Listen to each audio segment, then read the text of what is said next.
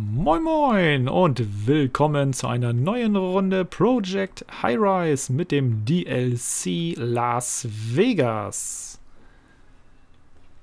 Wir haben zum Abschluss der letzten Folge hier einen Ausfall von einem äh, Transformator zu beklagen gehabt. Jetzt haben wir hier ein bisschen Strommangel. Jetzt sind die gerade dabei, das Wartungsbüro zu bauen. Hoffentlich schnell genug, bevor hier gleich wieder zig Leute ausziehen. Ja, da ist der erste, da ist der zweite. So, jetzt haben wir hier das Wartungsbüro. Ja, jetzt geht er hin und repariert. Immerhin etwas. Dauert natürlich eine ganze Weile. Da ist der nächste raus. so schnell geht das. So, jetzt ist repariert. Jetzt haben wir eine Produktion von 30 und die Nachfrage von 29. Jetzt müssten wir also noch einen Stromgenerator bauen.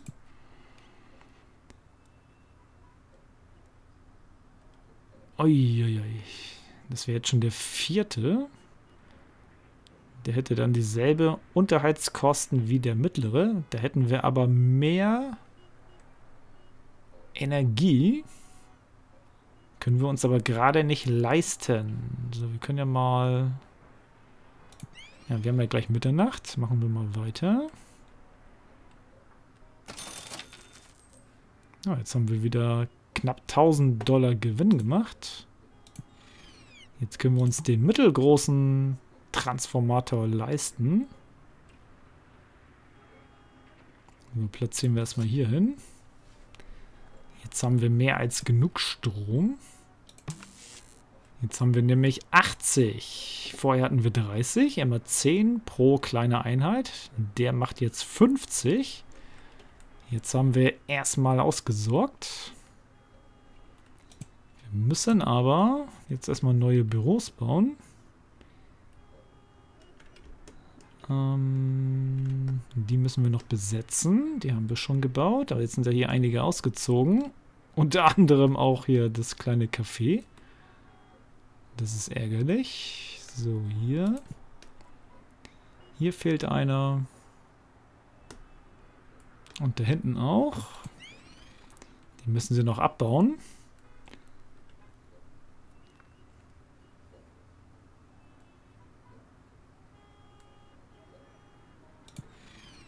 So. Dann machen wir hier wieder eine Versicherung rein. Die sind nicht ganz so anspruchsvoll. So, hier auch eine Versicherung.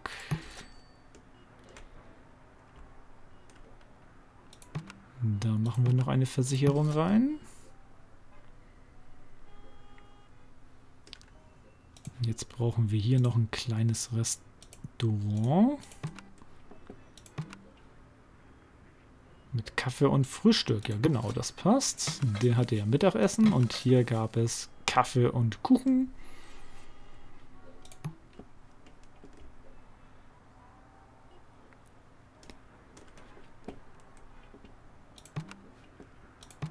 Einen Anwalt können wir hier noch rannehmen. Dann haben wir noch Kreative. Die bringen ordentlich Geld ein.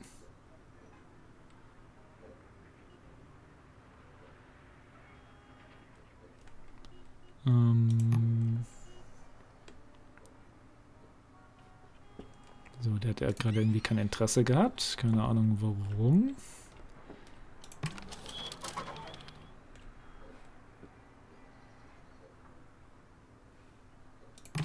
So, hier haben wir Kopiercenter und Kurierservice. Das funktioniert. So, die Miete ist zu hoch. Aber ich denke mal Kopierservice ist unzureichend. Genau. Da brauchen wir noch einen zweiten. Die kommen hier nämlich nicht hinterher. Aber da fehlt uns jetzt das Geld. Dadurch, dass wir den großen Stromtransformator gebaut haben, haben wir kein Geld.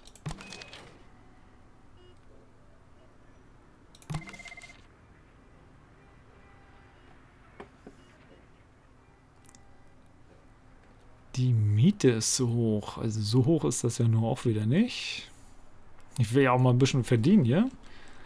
Sonst dauert das noch ganz schön lange, bis wir hier zum Hotel hier äh, umswitchen können. Und hier die ganzen Versicherungsmakler, einer nach dem anderen.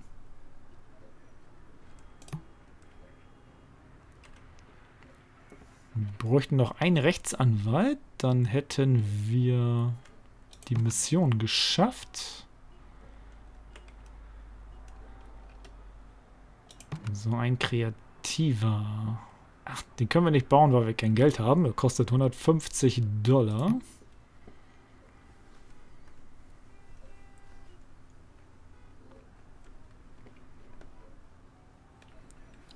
So, warten wir mal bis Mitternacht, ob hier ein Rechtsanwalt dazukommt. Sonst schalten wir einmal kurz Werbung. Kostet 88 Dollar. Und Glückwunsch! Unser Einkommen haben wir geschafft. Kriegen wir 1500 Belohnung.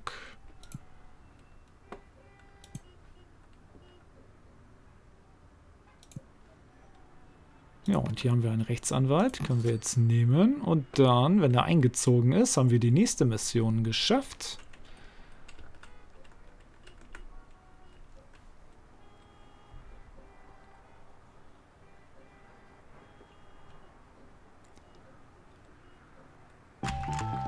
Und jawohl, so schnell geht es. Nochmal 1000 Dollar Belohnung. Jetzt haben wir wieder ein bisschen Geld. So, wir gucken einmal. Wasser brauchen wir nur für zwei Cafés. Eins braucht irgendwie kein Wasser. Wasseranschluss ist, ist ja bei allen gelegt. Ja, einer braucht kein Wasser. Telefon haben wir 8 von 10 ausgenutzt. Also könnten wir noch zwei bauen. Und Strom haben wir jetzt erstmal mehr als genug. Gerade mal 45 Prozent. So, dann machen wir noch zwei. Dann nehmen wir natürlich nur die Kreativen. Die wollen aber auch noch Wasserflaschen-Service.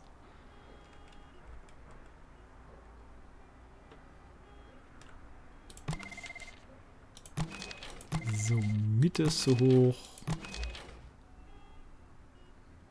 Einige sagen Miete zu hoch, andere sagen alles gut. Hm. So, wir bauen dann erstmal einen Wasserflaschen-Service. Der Kopierservice ist noch unzureichend. Vielleicht ist das ja der Grund, dass einige sagen, ist zu hohe Miete. Dann machen wir noch einen zweiten Kopierservice. Und dann gucken wir mal, was wir an neuen Aufträgen hier nehmen. 50 Leute im Gebäude. Wir haben jetzt schon 46. Das können wir schon mal annehmen. Und die Mieteinnahmen auf 5000. Oh, zwölf mittelgroße Büros.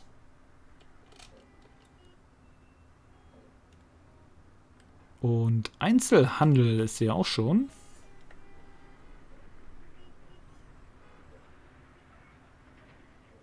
Hm. Einzelhandel. Wir könnten in der ersten Etage natürlich so eine Einkaufsmeile machen mit ganz vielen Geschäften. Ja, machen wir mal Einzelhandel als Mission. Dann wissen wir gleich, was wir bauen müssen. Vier kleine Geschäfte können wir mal als nächstes in Angriff nehmen. Und die Büros hier unten machen wir noch nachher mit Kreative oder so voll. So acht Stück. Das heißt, wir bräuchten nachher noch einmal Telefon. Machen wir aber jetzt erstmal noch nicht. Sparen wir uns das Geld. Machen wir erstmal hier oben so. Und dann für den Fahrstuhl schon mal.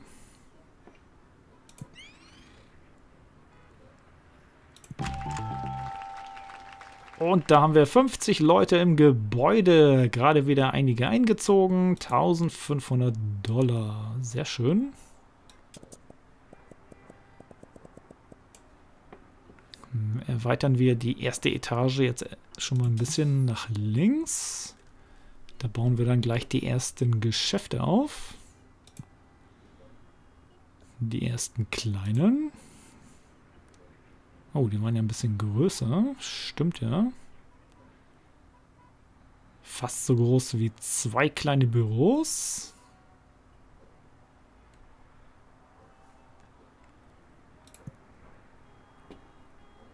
So, bauen wir hier schon mal zwei Stücken. Zwei Stück sind so wie dreieinhalb Büros. Dreieinhalb. Dreieinhalb. So. Nehmen drei, das wäre bis hier.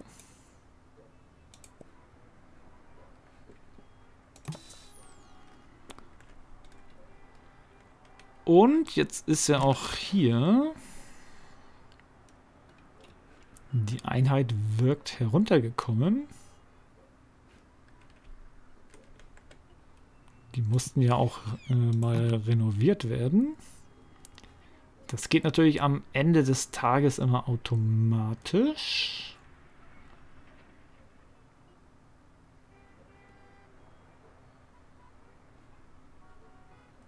Glaube ich zumindest, dass das automatisch ging. Man kann natürlich auch jetzt anklicken und sagen, jetzt schon mal schon mal sauber machen. So, wir machen aber erstmal vier Geschäfte. Ähm, Souvenir, Wein, Blumen, Drogeriemarkt, Zeitschriften, Lebensmittel. Machen wir erstmal einen Lebensmittelladen. Ähm, ja, und da brauchen wir Lagerraum. Genau, so war das. Lagerraum. Die machen wir dann in einem neuen Tiefgeschoss.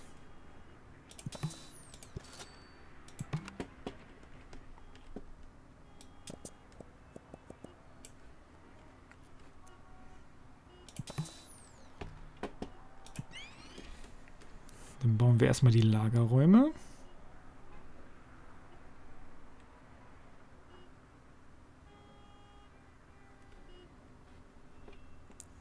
So, mal war. Lager, genau, da war das.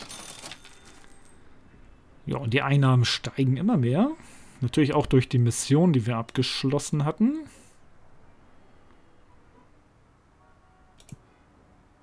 Oh, der war ja ganz schön groß. Der geht bis zur Hälfte der Treppe. Müssen wir hier nochmal ein bisschen erweitern. Um zwei Felder. Dann können wir das Lager hier hinbauen. Das hat dann Platz für vier Geschäfte. Die können dann ihre Ware hier ablegen.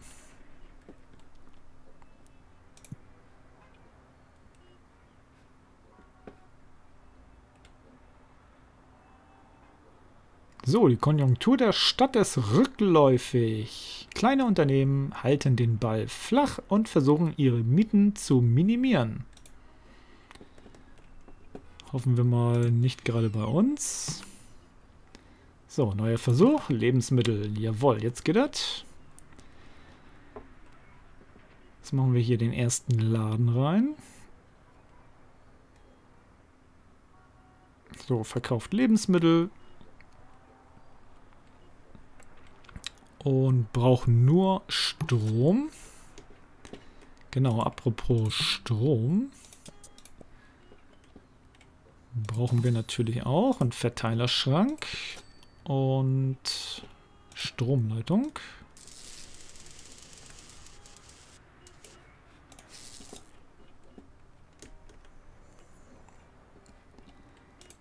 So, das war einmal Lebensmittel. Dann würde ich mal sagen, Machen wir hier ein paar Zeitschriften rein. Im nächsten. Der braucht auch nur Sturm. Dann... Ja, ein Blumenladen ist auch immer eine schöne Sache. Und ein Souvenirshop. Ja, machen wir was Souvenirs. T-Shirts und was auch immer. Aber das ist ja nur für Touristen. Da wollen wir Weinladen. Ja, hier gibt es Wein, Bier und Schnaps. Jawohl, da machen wir mal unsere erste Shopping Mall hier. Vier kleine Geschäfte, dann haben wir die Mission nämlich auch geschafft.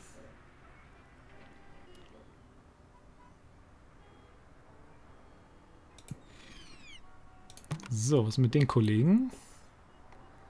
Neun Büros müssen wir renovieren. Kostenpunkt 1000 Dollar. So. Es geht doch irgendwie noch nicht automatisch. Oder musste man da noch einen extra Raum bauen? Schon wieder ein bisschen her. Dann machen wir es manuell. So, jetzt sind die Läden gleich alle fertig.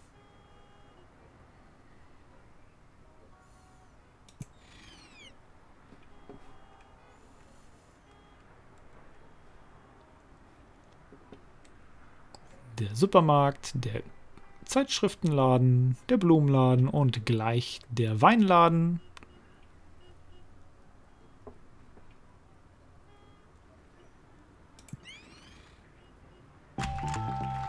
Und da haben wir den Auftrag abgeschlossen. 1000 Dollar.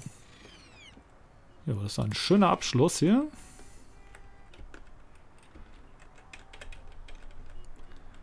Und ja, das war's für diese Folge.